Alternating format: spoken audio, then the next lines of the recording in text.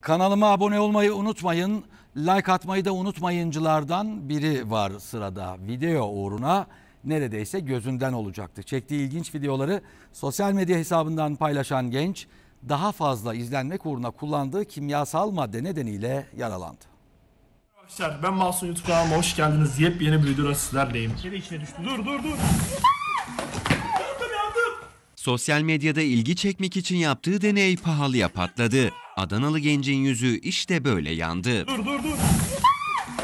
Yardım yardım. Lan gözüm. Su getir su. Sosyal medya platformlarında kendi çektiği videoları paylaşıyordu Mahsun Kaya. Panenola bir ara, ara verdim. Sonra nasıl videolar çekebilirim evde düşünürken en sonunda fil dişi e, macun deney yapmak aklımıza geldi. 23 yaşındaki genç Seyhan'daki evinin bahçesinde fil dişi macunu deneyi için hazırlandı. Ona yeğeni de yardım etti.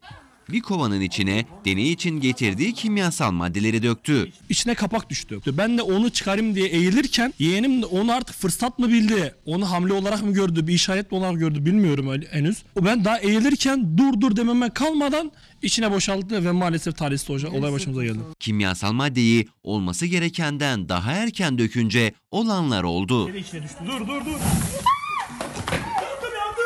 O anlar görüntülere de yansıdı. Lan gözüm. Getir su.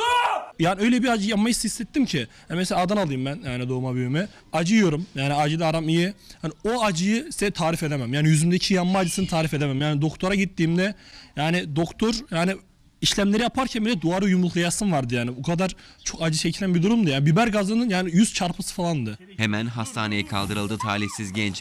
Yüzünde birinci dereceden yanık oluşmuştu. Ya siz denemeyin bence kimse denemesin. İçeri içine düştü. Dur dur dur.